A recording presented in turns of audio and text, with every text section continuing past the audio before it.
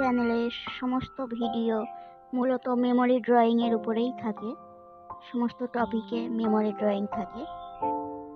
Memory drawing এবং ভীষণ সহজ পদ্ধতিতে কীভাবে সাবজেক্ট ড্রয়িং করা যায় সেটা দেখানোর চেষ্টা করি।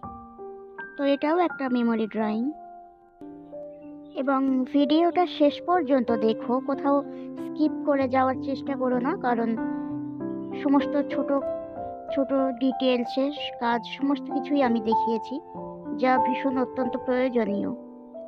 যদি ভালো লেগে থাকে শেষ পর্যন্ত দেখার পরে, তাহলে প্লিজ লাইক, কমেন্ট করতে ভুলো না। এবং যদি কেউ চ্যানেলে নতুন হয়ে থাকেন, তো প্লিজ সাবস্ক্রাইব করে দেবেন। এবং অবশ্যই যদি ভিডিওটা ভালো না লেগে থাকে, অবশ্যই ডিসলাইক করুন।